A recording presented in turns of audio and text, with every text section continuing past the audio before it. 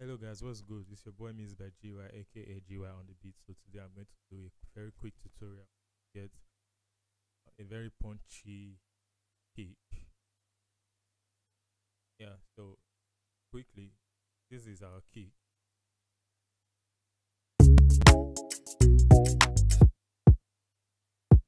So that's the kick.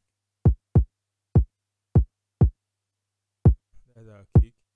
If you notice, it's picking at take note of this figure. This is six. It's speaking at minus already.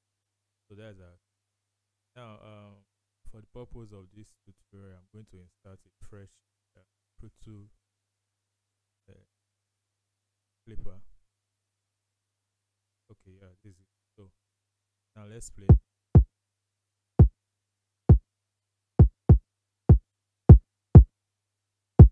If you notice, we are getting more punch already.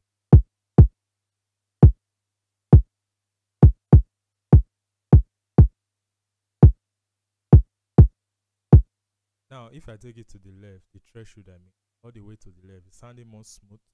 If I take it to the right, we are getting more distortion out of the kick. So it depends on re really what you want. But for the purpose of this tutorial, I'm going to take it all the way to the right. Let's say at uh, this point. Yeah, so that's at minus 3.9. The figures don't really matter. Just work with it. Okay. So let's listen. But again, we've added volume to the signal to the kick. Now it's speaking at speaking at zero. So, uh, like I always advise, anytime you're using any plugin, get volume. Uh, also, sorry, always make sure you volume match. Yeah, it's very important so that uh, you don't get fooled by volume and think you're actually doing better when you're actually doing worse. Yeah, so please take note. So